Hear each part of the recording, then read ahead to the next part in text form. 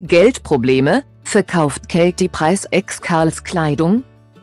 Verhöckert Katie Price, 44, etwa die Hinterlassenschaften ihres Ex-Verlobten? Bereits seit längerem ist bekannt, dass das Model unter Geldsorgen leidet.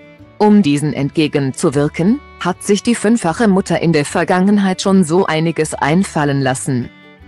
So hatte sie zum Beispiel überlegt, eine Berufsausbildung zu beginnen aber auch mit ihrem OnlyFans-Account versucht die TV-Bekanntheit seit rund einem Jahr Geld zu verdienen.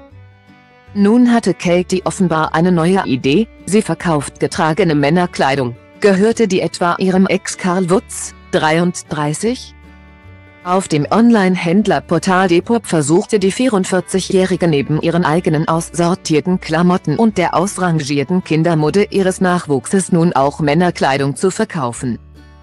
So bot sie unter anderem bereits ein Hemd der Designermarke Burberry für rund 57 Euro an. Ob es sich dabei um ein getragenes Oberteil ihres Ex-Verlobten Karl handelt, ist unklar, jedoch nicht unwahrscheinlich. Der Reality-TV-Star ist bekannt für seine Vorliebe für Designermode. Die Trennung von dem einstigen Teilnehmer der britischen Version von Love Island gab Katie Anfang Dezember des vergangenen Jahres bekannt.